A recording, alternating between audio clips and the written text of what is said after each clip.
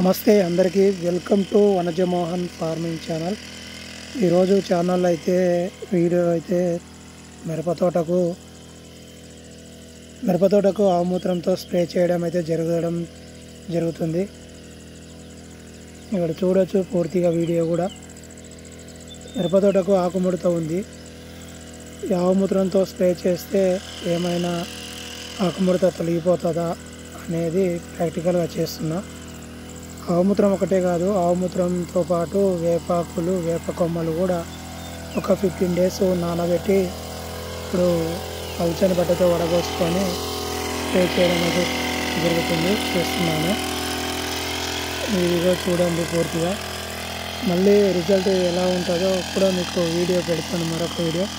మన ఛానల్ అయితే కొత్తగా చూస్తున్న వారు సబ్స్క్రైబ్ చేయండి లైక్ చేయండి షేర్ చేయండి.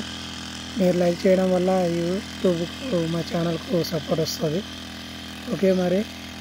ఖచ్చితంగా ఆకుముడత తొలగిపోతుందా? అలానే ఉంటుందా? అనేది మళ్ళీ ఒక వన్ వీక్ తర్వాత వీడియో అయితే పెట్టడం జరుగుతుంది. ఓకే మరి? మరొక వీడియోలో కలుద్దాం. న్యాచురల్గా చేయాలని ప్రయత్నం చేస్తున్నా.